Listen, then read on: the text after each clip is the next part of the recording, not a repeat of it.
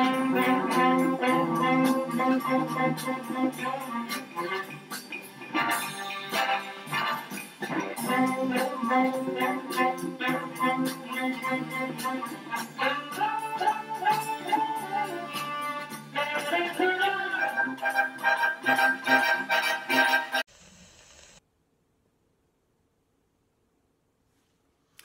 friends, I've got a project today which is all about being mindful.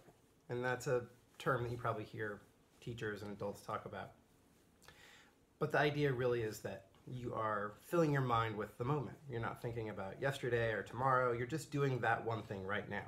So we're going to use watercolors and really simple shapes to pay attention to the moment and just really enjoy the process of making artwork and uh, not worrying about what it's going to turn out to look like in the end. Just kind of going with it. Let's give it a shot.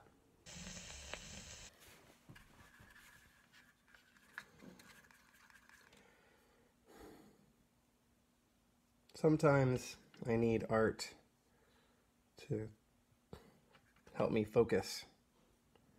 Needs sometimes I need something to anchor me to just being here right now. And art does that for me. And this is an exercise that I really like, which is about paying attention to this moment and enjoying the process. Not worrying about what it's going to be when you're done and not knowing what it's going to be when you're done. So I like circles. Circles for me help me kind of do that. So you might notice that I'm um, starting with circles, dots, then I'm doing these rings around them. I'm leaving a space around each ring because I'm going to go back when it dries.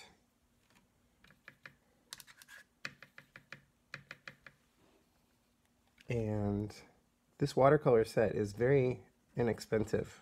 It's about, think you could probably get one for five or six bucks. You can get them at the grocery store even. People don't know that, but you can go to Safeway or major any major chain and they'll probably have it. But even your local corner store might have it too. So that's what I like to do is get this watercolor going. I have a kind of a cool palette right now, which means my, my palette is what kind of colors I'm using, and it's cool because it's it's a lot of blues. Feels cold. And I can I'm mixing over here on the side, so I can make my colors a little bit different if I want to. And you could do this a hundred times and it would turn out different every time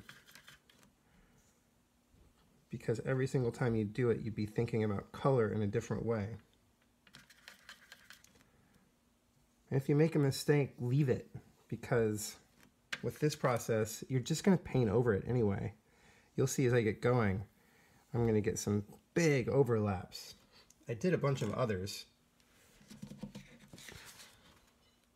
Here's one.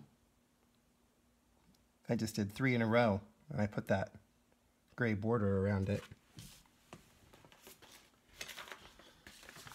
There's another one.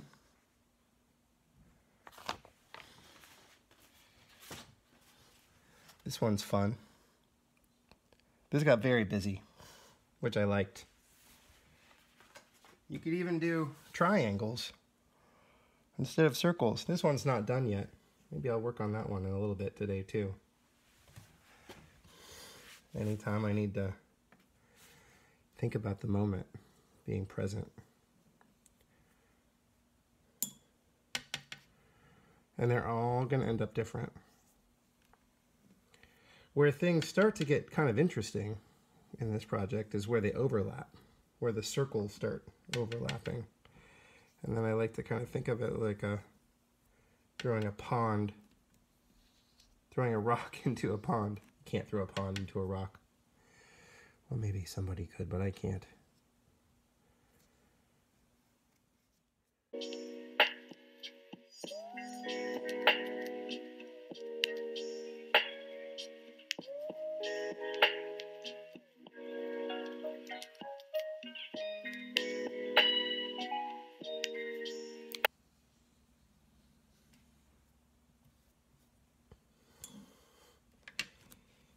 You can also do things like once you get to where they intersect, you can start ex experimenting with.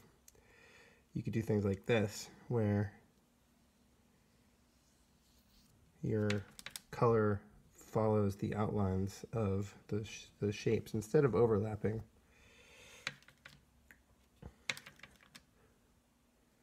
And you could go color to color and, and let the colors bleed into each other to see how that goes. That's fun too.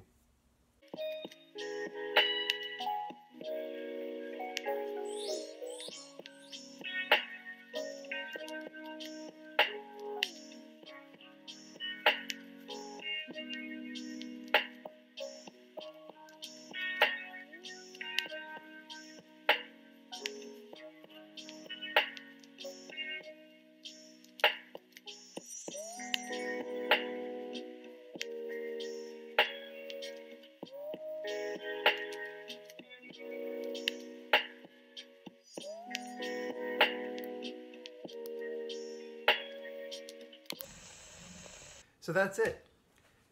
You can use circles, you can use triangles, you can try squares, you can really try that overlapping thing that I demonstrated, or you can keep everything separate. I like to work on one um, and then let it dry when it's before it's finished and then go to another one and work on that one for a little while. You could work on three or four at a time if you want to let things dry and just sort of cycle through. Uh, and you could do this thing a hundred times, and they're always going to look super, super different. And you're always going to learn something about color and shape. All right, take care. See you soon. Thank you.